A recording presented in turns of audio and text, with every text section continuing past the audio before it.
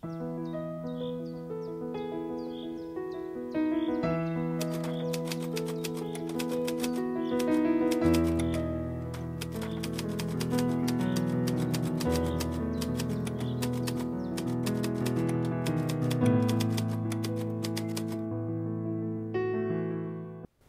sitze hier im Schatten des Kreuzes der St. Johanneskirche.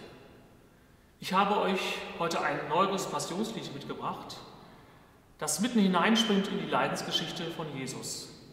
Verraten, verspottet, verhöhnt und verlacht, so heißt es. Es stammt von Christoph Messerschmidt und Verena Rothaupt. Die Engel von Weihnachten sind verstummt, die Herzen sind leer und voller Dunkelheit.